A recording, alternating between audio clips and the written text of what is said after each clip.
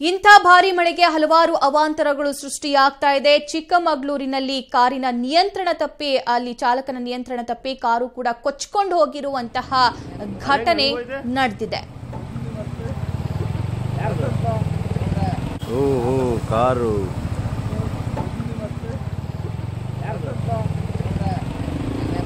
ಹಂಗೋಯ್ದೆ ತುಂಬಾ ಪ್ರೀತಿಯಿಂದ ಇಷ್ಟಪಟ್ಟು ಬೆಲೆ ಬಾಳುವಂತಹ ಕಾರನ್ನ ಖರೀದಿ ಮಾಡಿರ್ತಾರೆ. ಆದ್ರೆ ಚಾಲಕನ ನಿಯಂತ್ರಣ ತಪ್ಪಿ ಅಂದ್ರೆ ಅಪಾರ ಪ್ರಮಾಣದ ನೀರು ಸುರಿತಾ ಇದೆ ದೃಶ್ಯದಲ್ಲಿ ಗಮನಿಸ್ತಾ ಇದ್ದೀರಾ? ಸೊ ಕಾರು ಕೊಚ್ಕೊಂಡು ಹೋಗಿ ಅಲ್ಲಿ ಒಂದು ಭಾಗದಲ್ಲಿ ಸ್ಟ್ರಕ್ ಆಗಿರುವಂತಹ ದೃಶ್ಯ ಅಲ್ಲಿ ರೋಡೇ ಕಾಣಿಸ್ತಾ ಇಲ್ಲ. ಆ, ರೋಡ್ ಕಾಣಿಸದೇ ಇದ್ದ ಪರಿಣಾಮ ಈ ರೀತಿಯಾಗಿ ನಿಯಂತ್ರಣ ತಪ್ಪಿ ಕಾರು ಕೊಚ್ಕೊಂಡು ಹೋಗಿರೋದು.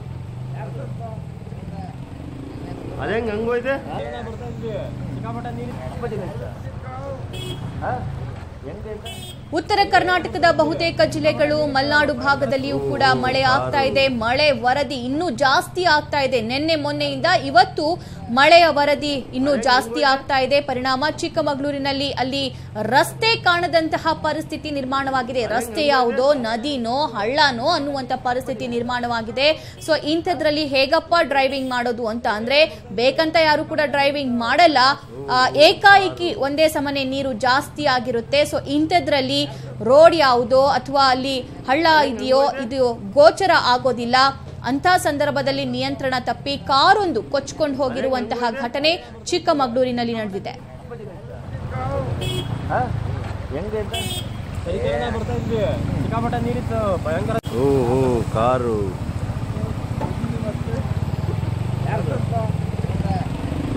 ಅದೇ ಹಂಗೋಯ್ತೆ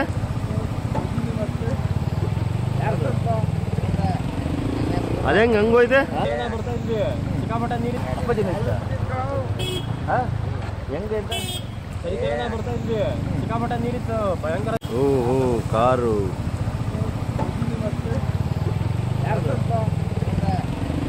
ಶಿವಮೊಗ್ಗದಲ್ಲಿಯೂ ಕೂಡ ಮಳೆಯಿಂದ ಹಲವಾರು ಅವಾಂತರಗಳು ಸೃಷ್ಟಿಯಾಗಿದೆ. ಅಲ್ಲಿ ಮಳೆ ನೀರು ಅಧಿಕವಾಗಿ ನಿಂತ್ಕೊಂಡಿದೆ. ಆ ಮಳೆ ನೀರಿನಲ್ಲಿ ಮಕ್ಕಳು ಸ್ಕೂಲಿಗೆ ಹೋಗ್, ಹೋಗೋದನ್ನ ಬಿಟ್ಟು ಆಟ ಆಡ್ತಾ ಇರುವಂತಹ ದೃಶ್ಯವನ್ನ ನೋಡ್ತಾ ಇದ್ದೀರಾ? ಚಿಕ್ಕಮಗಳೂರಿನ ಒಂದು ಏರಿಯಾ ಇದು. ಒಂದು ಕಾಲೋನಿಯಲ್ಲಿ ಅಪಾರ ಪ್ರಮಾಣದ ನೀರು ನುಗ್ಗಿದೆ. ಮನೆಗಳು ಮನೆಗಳಿಗೂ ಕೂಡ ನೀರು ನುಗ್ಗಿರುವಂತಹ ದೃಶ್ಯ ಶಿವಮೊಗ್ಗದಿಂದ.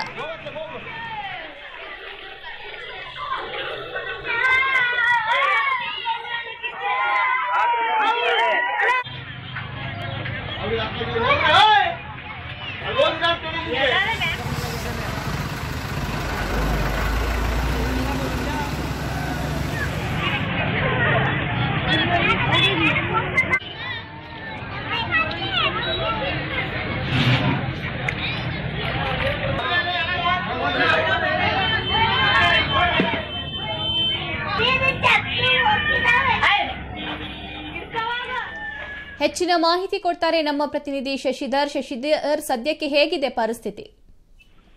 ಖಂಡಿತವಾಗಿಯೂ ಸಭಾ ಏನು, ಮಲೆನಾಡಿನಾದ್ಯಂತ, ಶಿವಮೊಗ್ಗ ಜಿಲ್ಲೆಯಾದ್ಯಂತ, ಕಳೆದ ರಾತ್ರಿ ಇಡೀ ಕೂಡ ಮಳೆಯಾಗಿದೆ. ಆದ್ರೆ ಮಳೆಗೆ ಯಾವುದೇ ರೀತಿ ಹಾನಿ ಆಗಿಲ್ಲ. ಆದ್ರೆ ಏನು ಶಿವಮೊಗ್ಗ ಪಟ್ಟಣದಲ್ಲಿ ರಾಜ ಕಾಲುವೆಗಳನ್ನ ಒತ್ತುವರಿ ಮಾಡಿಕೊಂಡು ನಿವೇಶನಗಳಾಗಿರ್ಬೋದು ಮನೆಗಳನ್ನ ನಿರ್ಮಾಣ ಮಾಡಿದ್ದಾರೆ. ಅದರಿಂದಾಗಿ ಆ, ಶಿವಮೊಗ್ಗದ ತೀರ್ಥಹಳ್ಳಿ ಮತ್ತೆ ಶಿವಮೊಗ್ಗ ರಸ್ತೆಯಲ್ಲಿರುವಂತ ಮಂಡ್ಲಿ ನ್ಯೂ ಮಂಡ್ಲಿ ಬಡಾವಣೆ ಅಂಬೇಡ್ಕರ್ ನಗರದಲ್ಲಿ ಒಂದು ಹತ್ತಾರು ಮನೆಗಳಿಗೆ ನೀರು ನುಗ್ಗಿದೆ. ಈಗಾಗಲೇ ರಾತ್ರಿ ಇಡಿಯಿಂದ ಕೂಡ ಅಲ್ಲಿನ ನಿವಾಸಿಗಳು ತೊಂದರೆಯನ್ನು ಅನುಭವಿಸ್ತಿದ್ದಾರೆ. ಬೆಳಗ್ಗೆ ಕೂಡ ಮನೆಗಳಿಗೆ ನೀರು ನುಗ್ತಾ ಇತ್ತು. ಈ ಹಿನ್ನೆಲೆಯಲ್ಲಿ ಅವರು ಪ್ರತಿಭಟನೆ ಕೂಡ ಮಾಡೋದಕ್ಕೆ ಮುಂದಾದ್ರು. ಈ ವಿಷಯನ ತಿಳಿದಂತ ಮಹಾನಗರ ಪಾಲಿಕೆ ಅಧಿಕಾರಿಗಳು ಮತ್ತೆ ಉಪಮೇಯರ್ ಕೂಡ ಸ್ಥಳಕ್ಕೆ ಧಾವಿಸಿ ಆ ಒಂದು ಸಾರ್ವಜನಿಕರ ಒಂದು ಮನವಿಯನ್ನ ಆಲಿಸ್ತಿದ್ದಾರೆ. ಅದು ಅಲ್ಲದೆ ರಾಜ, ಸಾರ್ವಜನಿಕರು ಕೂಡ ಈ ಒಂದು ರಾಜಕಾಲುವೆ ಒತ್ತುವರಿ ಆಗಿದ್ರಿಂದನೇ ಈ ಒಂದು ಅವಾಂತರ ಸೃಷ್ಟಿಯಾಗಿದೆ ಅನ್ನೋ ಒಂದು ಆರೋಪ ಮಾಡ್ತಿದ್ದಾರೆ. ಈ ಹಿನ್ನೆಲೆಯಲ್ಲಿ ಸ್ಥಳಕ್ಕೆ ಜೆಸಿಬಿ ಯಂತ್ರವನ್ನು ಕರೆಸಿ ಮಹಾನಗರ ಪಾಲಿಕೆ ಸಿಬ್ಬಂದಿ ಮತ್ತೆ ಕಾರ್ಪೊರೇಟರ್ಗಳು ಕೂಡ ಈ ಒಂದು ರಾಜಕಾಲುವೆಯನ್ನ ತೆರವು ಮಾಡೋ ಕಾರ್ಯಕ್ಕೆ ಮುಂದಾಗಿದ್ದಾರೆ. ಆದ್ರೆ ಮಳೆ ನೀರು ಮನೆಗೆ ನುಗ್ಗಿರೋದ್ರಿಂದ ಹತ್ತಾರು ಮನೆಗಳಿಗೆ ನೀರು ನುಗ್ಗಿದೆ. ಆ ರಾತ್ರಿಯಿಂದ ಕೂಡ ಅವರು ನಿದ್ದೆಗೆಟ್ಟಿದ್ದಾರೆ. ಆ ಒಂದು ಒಂದ್ ರೀತಿ ಸಂಕಷ್ಟ ಎದುರಿಸ್ತಿದ್ದಾರೆ ಸಭಾ. ಓಕೆ ಶಾಲಾ ಕಾಲೇಜುಗಳಿಗೆ ರಜೆ ಏನಾದರೂ ಕೊಟ್ಟಿದ್ದಾರಾ ಶಶಿಧರ್? ಇಲ್ಲ ಖಂಡಿತವಾಗಿಯೂ ಶಾಲಾ ಕಾಲೇಜು ಇಂದಿನಿಂದ ಆರಂಭವಾಗಿದೆ. ಶಾಲಾ ಕಾಲೇಜಿಗೆ ರಜೆ ಕೊಡುವಂತ ತೊಂದರೆ ಯಾವುದೇ ರೀತಿ ತೊಂದರೆ ಆಗಿಲ್ಲ. ಒಂದು Okay. ರಾಜಕಾಲುವೆ ನೀರು ತುಂಬಿ ಹರಿತಿರೋದ್ರಿಂದ ಮನೆಗಳಿಗೆ ನೀರು ನುಗ್ಗಿರೋದು ಬಿಟ್ರೆ ಮಳೆಯಿಂದಾಗಿ ಯಾವುದೇ ತೊಂದರೆ ಆಗ್ಲಿ ಹಾನಿ ಆಗ್ಲಿ ಸಂಭವಿಸಿಲ್ಲ ಸಭಾ. ಓಕೆ ಶಶಿಧರ್ ಧನ್ಯವಾದ ನಿಮ್ಮೆಲ್ಲ ಮಾಹಿತಿಗೆ.